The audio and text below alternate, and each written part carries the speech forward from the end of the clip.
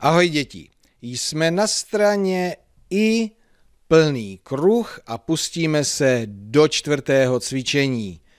Jaké je zde zadání? Přečti sloupce. Sloupce slabik, ty již máme nacvičené, takže se pustíme i hned do interaktivního cvičení. Rychlostí čtyři. Si mi. Pa. Le. So. Me. Pi. Su. Se la.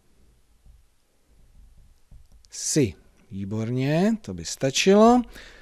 Že to bylo rychlé, no nevadí. Nyní si přerušte video a svojí rychlostí si toto cvičení ještě jednou přečtěte. Vraťte se, celé cvičení ještě přečteme společně. Dejte se do práce.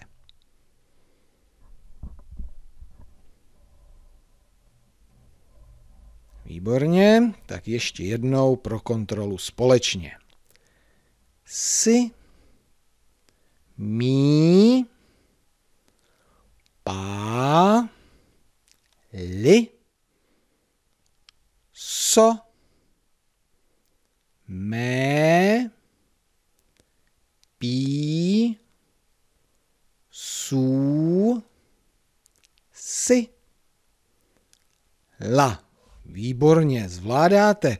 To by byla škoda, abyste to ještě někomu nepřečetli. Dejte se do toho.